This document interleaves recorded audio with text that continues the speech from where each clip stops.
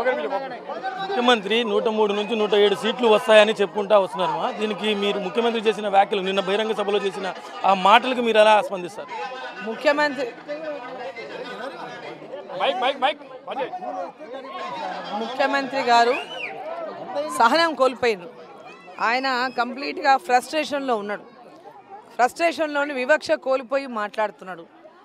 ఆయన ఓసారి చెప్తాడు ఓడిపోతే నేను ఫామ్ హౌస్లో పండుకుంటా నాకేం నష్టం కాదని చెప్తాడు. అంటే ఇప్పుడు కూడా ఆయన ఫామ్ హౌస్లోనే పండుకుంటున్నాడు. ఆయన ఏం ప్రజల మధ్యలో ఏం లేడు. కేవలం ప్రజలకు మాటలతోనే మోసం చేస్తున్నాడు తప్పితే ప్రజల మధ్యలో టీఆర్ఎస్ పార్టీ ఎన్నడూ లేదు. అన్ని అబద్ధాల అబద్ధాలతో ప్రజలను ఇంకా మభ్యపెడుతూనే ఉన్నది.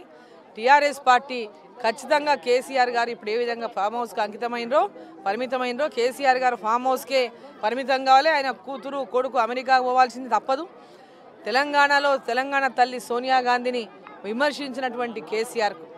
అసలు ఆయనకు మొట్టమొదట మహిళలంటేనే గౌరవం లేనటువంటి వ్యక్తి. మహిళల మీద ఏమాత్రం గౌరవం లేదు. అందులో తెలంగాణ ఇచ్చినటువంటి తల్లి తెలంగాణ తల్లి సోనియమ్మగా ఆ రోజు అసెంబ్లీలో కూడా మాట్లాడినటువంటి తండ్రి కేసీఆర్ గారు మహాపురుషుడు ఈరోజు నాలుక పాపం ఓడిపోతున్నా అని ఎట్లా పడితే అట్లా మతిభ్రమించి మాట్లాడుతున్నాడు. తెలంగాణ ఇచ్చినటువంటి సోనియా గాంధీని కానీ గౌరవించలేనటువంటి వాడు తెలంగాణ ప్రజలంటే గౌరవం లేనటువంటి వాడు అధికారంలో ఒక్కరోజు కూడా ఆ పీఠం మీద కూర్చునే హక్కు కోల్పోయిండు.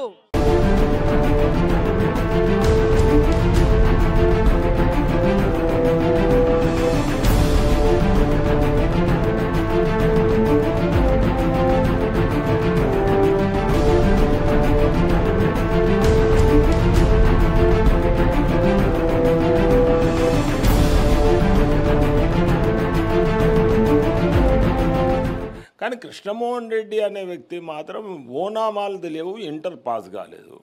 సర్వం కృష్ణార్పణం అనేది బంగ్లా నుంచి ఆయన జీవితం. ఇంకా నేర్చుకొని పోయాడంటే కొన్ని ఆయన చేసిన పాపాలు మాకు నచ్చగా బయటికి దొబ్బాం. Main karate scene. ఆయన మర్డర్ వల్లనే ఆ రోజు అరుణ గారు ఓడిపోయారు. ఈరోజు చూడండి ఈ పోలీస్ వ్యవస్థ ఇదింత నేను ఈడ ఉన్నా చుట్టుపక్కల ఒక నూట యాభై మంది పోలీసు వాళ్ళని పెట్టారు మఫ్టీలో నాకేం బాధ లేదు. నా ఫోన్లు నా ఫోన్లు ట్యాప్ చేసుకోండి ఎవరైనా ఏం చేసుకోండి. ఎలక్షన్ ఏంది? దాంట్లో ఏమన్నా దొంగతనం చేసేది ఉందా? ఏమైనా డబ్బులు ఇచ్చి కొనేది ఉందా? ప్రజలకు అభిమానం ఉంటే చేస్తారు. అంతకుమించి వేరే ఉండదు ప్రశాంతంగా ఇక్కడ కూర్చుంటే పోలీసులు వాళ్ళ వాళ్ళ విధి నిర్వహణ వాళ్ళు చేస్తున్నారు. కానీ మిమ్మల్ని ఇబ్బంది పెట్టే పరిస్థితులు ఏమైనా చేశారంటారా? నా దగ్గరకు వచ్చే వాళ్ళని చెక్ చేయడము నా దగ్గర నుంచి పోయిన వాళ్ళని చెక్ చేయడము. ఇప్పుడే కొంత చెప్తుండ్రి వీళ్ళకి ఏం లేదు కంకర కంకర పై పైన పేపర్లు పెట్టి పోతే ఆ లోన కంకర ఉంటుంది అందరికి అట్లా పంపించేస్తే వాళ్ళని నెత్తి